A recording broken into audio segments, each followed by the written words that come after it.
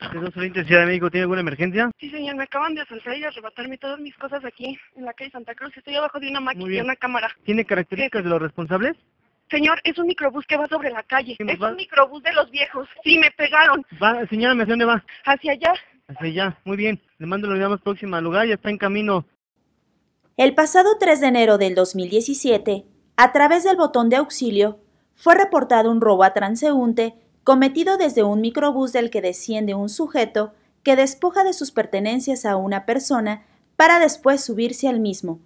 Por medio del video replay de las cámaras de videovigilancia, personal del C2 Oriente detecta el momento de los hechos y con la ruta y características del transporte público se logra ubicar a los presuntos responsables del robo se coordina con los elementos de la Secretaría de Seguridad Pública, mismos que logran interceptar al vehículo y detener a dos sujetos, los cuales son reconocidos por la víctima como los presuntos responsables del robo.